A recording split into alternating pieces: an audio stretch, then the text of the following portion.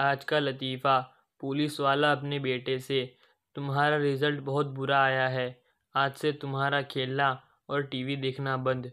बेटा, ये पचास रुपया पकड़ो और इस बात को यहीं ख़त्म कर दो।